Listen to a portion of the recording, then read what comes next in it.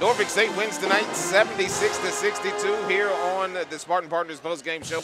We welcome in the head coach here at Norfolk State, Coach Rob Jones. And Coach Jones, 76-62 is your final score.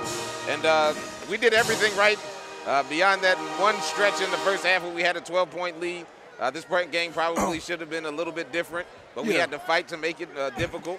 And then we came up and uh, we played like we should have in the second half. Yeah, I think the first half we were taking just terrible shots at the, in that stretch, and um, we allowed them to climb back into the game. And then once we settled down, taking better shots, uh, you know, the game got extended a little bit.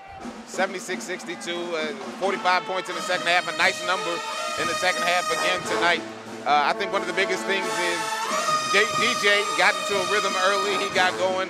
He got those two fouls, but then he came back in the second half and he really played well. Well, DJ is key to our offense because not only is he a shot maker, but he brings so much attention to himself that now there's, there's bigger driving lanes because people stick to him a little bit. So he has a dual purpose in our offense, and um, you know he did come alive being a shot maker in the second half. But once again, we have five guys with double figures, and that's. I mean, that's what that's, that's our staple right now this year. We don't have any dominant scorers, uh, but we do have some guys who can score. Tonight, Stephen Whitley with a, du- uh, almost a triple-double in the right way. Uh, 12 points, 11 rebounds, 7 assists.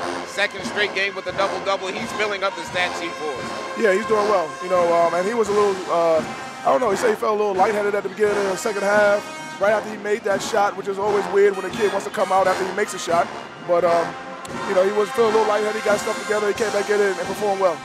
Uh, you look at what we did. Monty Applewhite had 14 points. He got most of his from the free throw line. But we did a nice job of stopping Dante right here at four three-pointers. But he hit one when it was pretty much over. Uh, defensively, we played a lot better over this last couple of games. Yeah, this, yeah. The second half today, uh, we told them at halftime that um, you know 45%, anything with a four in front of it is not what we wanted to see.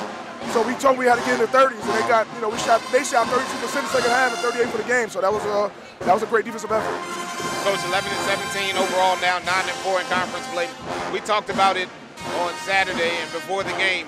We just have to control what we can do. Things will happen other places. Uh, Hampton knocked off uh, Savannah. Savannah in overtime tonight.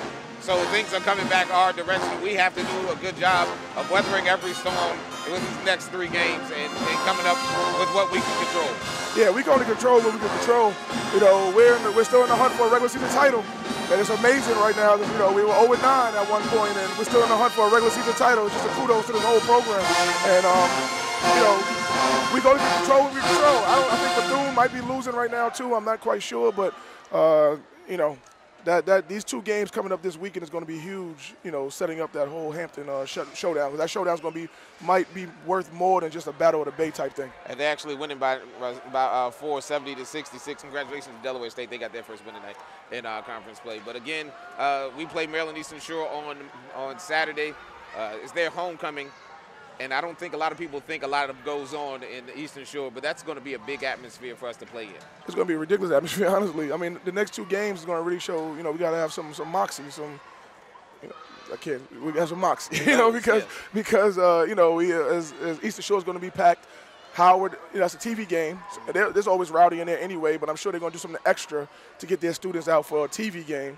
So, um, you know, that's going to be packed, and then you know we come back and play uh, the whole Battle of the Bay thing. So, you know, it's going to be like three games in a row that we got to really bring. It's going to be, but it's good for us because it's going to be like a tournament type atmosphere for three games in a row, and that's going to prepare us for the MEAC tournament, I believe. And exactly right. But we focus on Maryland Eastern Shore on Saturday. Yeah. We'll see you that way. National holiday. I told Alexis Long that so today's my birthday, so make sure Oh, that you yeah. support us on that day. Uh, if you don't support us on any other one, just joking. Thank you, Coach uh, Jones, for stopping by. We appreciate your help. As Norfolk State wins tonight, your final score 76-62. We'll take a timeout. You're listening to NSU basketball right here on the NSU Sports Network.